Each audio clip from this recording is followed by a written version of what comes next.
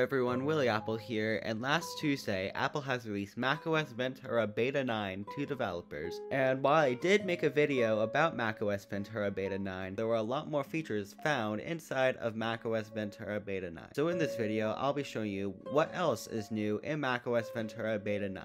First thing is, if we were to take a look at our settings and down into wallpapers right here, we now have the default Ventura graphic wallpaper used to be an only light and dark theme wallpaper. Now it is a dynamic desktop wallpaper and it works just like Monterey. And this gives me a lot more hope that Apple will make a screensaver for macOS Ventura since we have this Monterey one that I really like.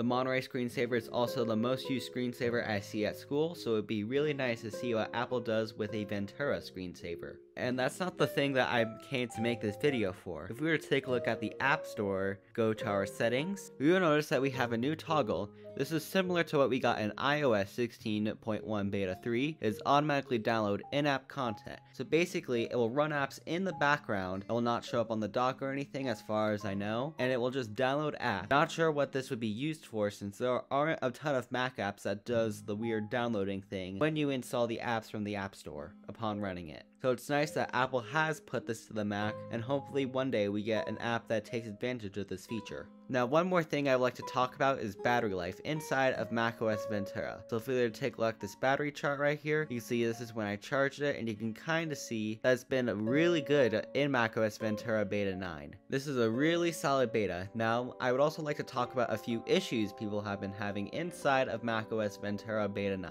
So there has been a widespread issue of HDMI breaking so there's a little widespread issue with HDMI external displays breaking. So I have not had this myself yet. We'll see if I do. Could be uh, most of these people are using an older Mac. I'm not 100% sure, but hopefully that does get fixed inside of beta 10. I still have the issue of clocks not playing alarms when they're supposed to. So, so far inside of beta 9, none of the alarms have been playing. So this is a pretty major issue that Apple should be addressing inside the next coming betas and I did support a bug report back in June, and recent similar reports there are more than 10 of them. So hopefully Apple does address this issue since this now saying more than 10.